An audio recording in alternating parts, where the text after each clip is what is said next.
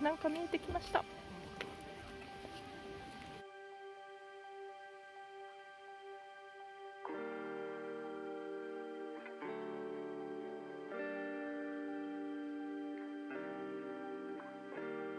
こんにちは、みこです、えー、今日はね、あのー、公園でね、マルシェやってるっていうので来たんですけど、残念ながら全部完売でした、人気ですね。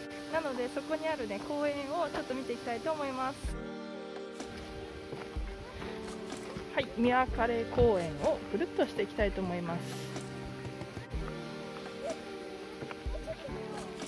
ね、ここがちょうどね、今この三輪カレー公園で、えー、日本海と瀬戸内海にちょうど分かれるとこなんですね。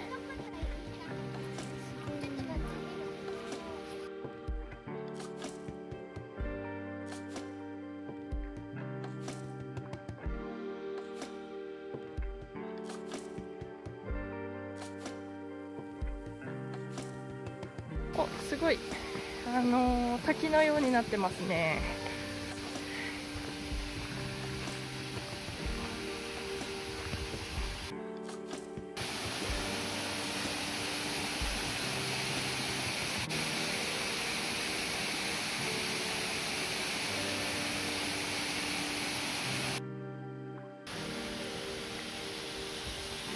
これ多分ですね桜の木なんですよ。全部がね。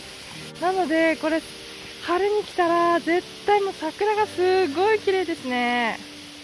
またねこれはまた桜の時期に来たいです。で桜の時期に行くところたくさんいっぱいありますね。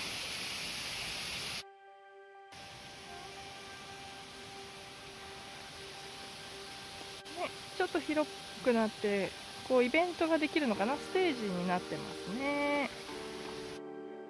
ちょっとねマルシェがね売り切れだったのが残念ですが、えー、自然の中をねこう歩けたので良かったです。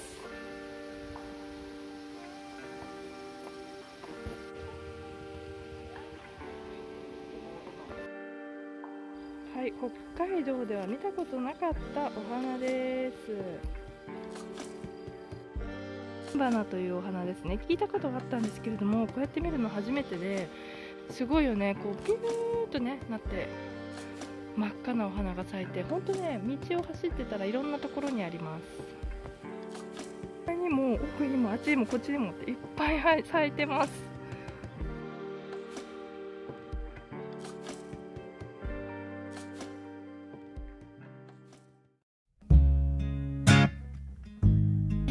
星さんというラーメン屋さんなんかねすごい人気店で結構地方からも来てるということなので来てみました。豚骨ラーメンです。